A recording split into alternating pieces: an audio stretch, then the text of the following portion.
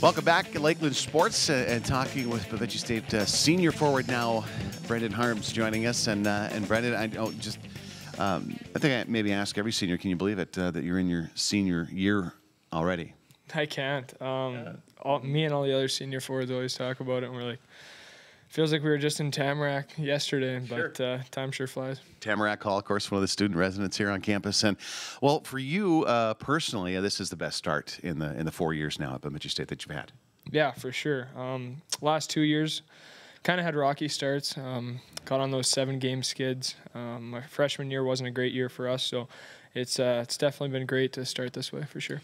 Is there anything different uh, from year to year that you can pinpoint as to why the success early in October and now into November? I don't know if there's one specific thing. Um, definitely, our depth has been helping us for sure. Get a we have a veteran group, which has helped us get off to a good start for sure.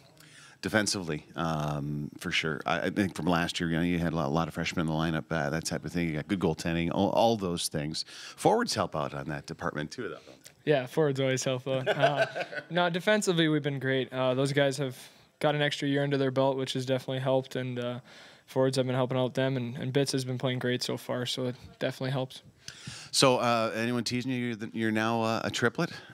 On the line? no, no, not yet, not okay. yet. I've been I've been telling them I'm the third triplet or the fourth now. Fourth triplet. Yeah, You're right. Quadruplet, uh, I guess you could say. What's it like with uh, with Leo and Gerry right now in the lineup? Oh, it's been great. Uh, they're quick players. They they move fast. So at times you got to read off them a little bit differently. Um, I've been playing with I was playing with Corey Ward and, and Charlie for the last couple of years, so it's been a bit of a change, but uh, I've been definitely enjoying it. How about this Bemidji State hockey team? Uh, and you look at the standings right now, and maybe you can't even believe the, the, the separation and and what it's taken to get to that, to that point. Yeah, it's uh, it's crazy when you look at the at the standings and, and see we're on top and how much separation we've created. Um, we're just trying to keep that going. That's the biggest thing for us right now is uh, to continue to do that and see if we can keep it going.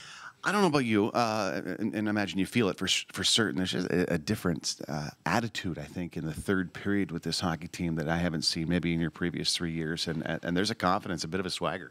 Yeah, for sure. We're we're finding ways to get wins, and maybe in the last two years we found some ways to not get those wins. Um, mm-hmm. Seemed like we were playing good hockey, especially in those seven game stretches. Uh, just couldn't find a way to win, and, and now we're finding those ways. So the confidence uh, definitely helps. If you need to improve anywhere, where would that be, Bemidji State right now? I think it's just consistency. Um, okay. Continue to be consistent every single game. Um, we took a bit of a first period off in Mankato the first night, and uh, that was kind of an eye opener. So if we can just keep consistently playing well, um, will definitely help. Well, you lead the nation in goals against. Uh, Bemidji State does right now at 1.33. It's a, it's an incredible uh, number. The, the WCHA seems to be more of a, a defensive conference uh, as it is. So, uh, on the other side of things, how do we get the goals for up a little bit?